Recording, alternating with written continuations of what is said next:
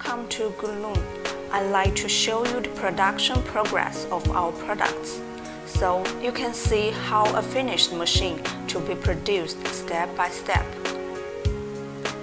First, we use CNC laser cutting machine to cut the raw materials. It can cut a whole piece of stainless steel into small pieces with more precisely dimension and more neat edges. Laser machine can cut many material at the same time, so it increased production capacity and efficiency. What you have seen now is punching machine. Punching machine can cut small material into specific shape. We have both manual and CNC punching machine. Once the data have been set, machine will work automatically.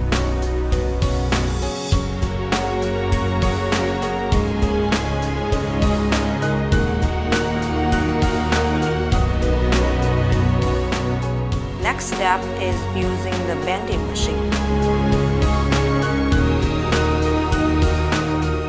No matter large size stainless steel sheet or small pieces, both can be bended accurately and multiple times is also available. Till now, you can see an embryonic form of machine body have been completed.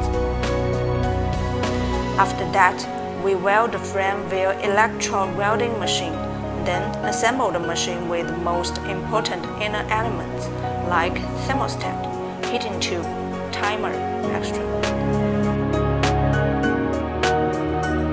The last step is polishing each machine to make sure we'll make high quality and elegant machine without blur or rough edges.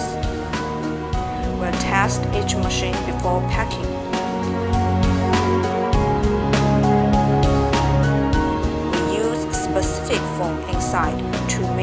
Each machine is in good condition after transportation.